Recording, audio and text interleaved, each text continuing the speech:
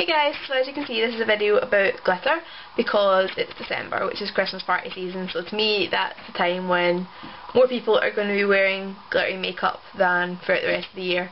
Maybe people will be going out and buying it so this is kind of advice on how to wear it, kind of toned down, more over the top, that sort of thing.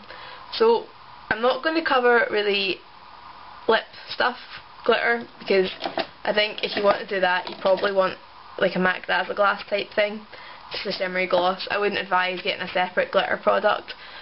Um, I definitely wouldn't advise loose glitter on the lips because it can be quite gritty and then if you've got someone to kiss at the bells or on their mistletoe, whatever, they're going to get glitter all over their face and they're probably not going to appreciate it. I'm also not going to talk about body glitter for kind of similar reasons because if you wear glitter on your arms or whatever and then you go to give someone a cuddle, you might get it on their outfit and if they're wearing something expensive they're probably not going to appreciate that either, so yeah. So the first product I'm going to talk about are glitter eyeliners. Um, I'm not going to really go through all of these, this is just quickly to demonstrate that they're not difficult to find. Uh, this is a product from the Body Shop last year. One end's a mascara, one end's a liner. I wouldn't recommend a separate glitter glitter mascara because it's just... I'll explain that later. Uh, the Jemma Kidd one, you can get this at Space NK. Urban Decay, you can get them anywhere, they've got all sorts of colours. MAC, these tend to only come out in limited edition collections now, I believe. Um, Stila, these were limited edition, they're gone, but if you can get a hold of them, there's some fantastic colours in these. And last but not least, this is from Collection 2000, which is a brand I don't believe you get outside of the UK. But, yeah, just as a quick example of the fact that you do not need to spend a lot of money on these products. Um, these are the only two I had in similar colour. The Urban Decay Stage Dive and Collection 2000 Le Freak.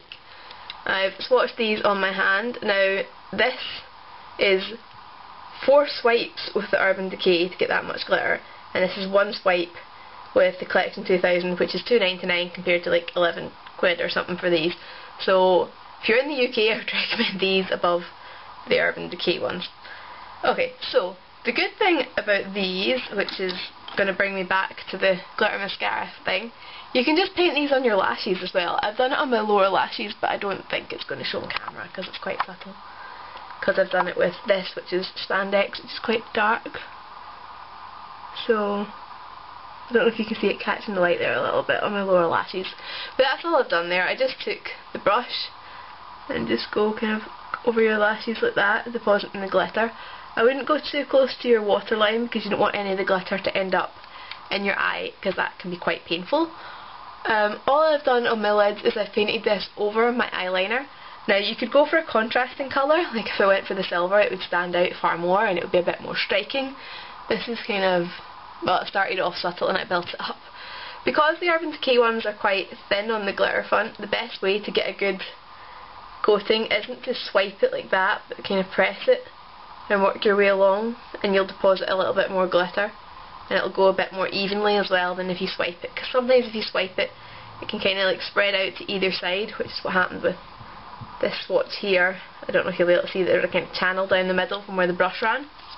So yeah pressing definitely the way to go. Obviously you can use all different colours like if I put Covet or Flipside eyeliner from Urban Decay this would look stunning on top because it's a nice turquoisey but also if I used that on top of black it would stand out more and be really striking. So that's my first bit on glitter eyeliner. I will be back shortly. Different makeup look, different day to show you another way of wearing it. So the next way of working with glitter uses a glitter eyeliner as well and this is just the Jemma Kidd one in Diamond and if I zoom you in you can see that I've used it as my inner corner tear duct type highlight. So you can see this eye here, we've went a bit heavier and further in than on this eye. This just kind of gives you an idea of the different effects that you can have with this. So, it's really easy. All you do is kind of decide how heavy you want to go, how far in you want to go, and just start layering on around your tear duct and into wherever in your lid space you want to go to. Make sure that when you're working around your tear duct, you're careful. You don't want to get into your tear duct because then it can work its way to your eye and that can be painful. It is cosmetic grade glitter but it's still not fun. Um, make sure you have a cotton bud nearby. It's quite good if you think you've slipped some into your tear duct, you can just kind of catch it on the cotton bud before it works its way into your eyeball area. Uh, also, when you've packed on a layer of it, make sure that you keep your eyes partially closed at least until it's dry.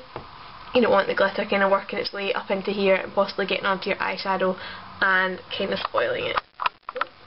So this is just a really really simple technique. I think it'd be quite good if you had to go to a party like after work or something. You could do like quite a neutral look during the day and then get some gold glitter and pack it into the corners to kind of liven it up and deepen up your crease a bit and it would just look much more of a party look. So enjoy! So last we've got loose glitters. So again, just like eyeliners, you can get loads of different brands. It's like an old Too Faced one and it's a Stargazer one. These are actually fairly similar in colour. I don't know why I have both of them. And of course there's MAC ones, which is what I'm going to be using today. This is actually fuchsia, but hello, it's purple. So, yeah. Okay, so adhesive for these. You can use uh, MAC, eyeliner mixing medium, things like that. Personally, I use a bit of duo because I feel like it's going to stay on quite well. So all I do is I squeeze it a little bit onto any kind of surface. I tend to use eyelash boxes. And because this is latex based, I've got a dry bit here, you can literally just peel off what you don't use so you don't make a mess of your surface. So just got a little puddle there, it's been out for a while, so what I do is take my middle finger, go into it, rub my fingers like that so it's spread out so you get a thin layer because you don't want to cake this onto your eye, and I just pat it onto the lid. Make it nice and sticky.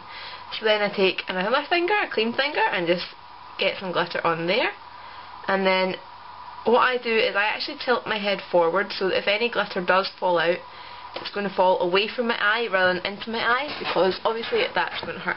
So I just lean forward like that and just press it on where you press the glue. I do still always end up with fallout on my cheeks, but it's been a very long time since I had any loose glitter in my eye. And then you'll see that because you've rubbed your fingers together, you've got quite a nice kind of spread out glittery effect rather than just caked on.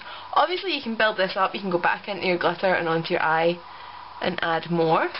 So the last bit that we need to deal with now is the fallout for this. Obviously you can brush away most of it but the best thing to do is get this type of tape. I always call it scotch tape.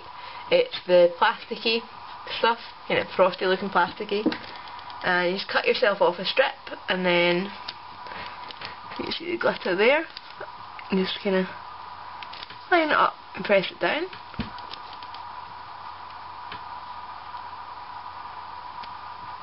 Okay, and then just away and as you can see the glitter sticks on there but this tape isn't like sticky enough that it's going to pull at your skin and hurt you, cause any damage, wrinkles, all that bad stuff. So that's it on glitter, I'm afraid, ladies and gentlemen.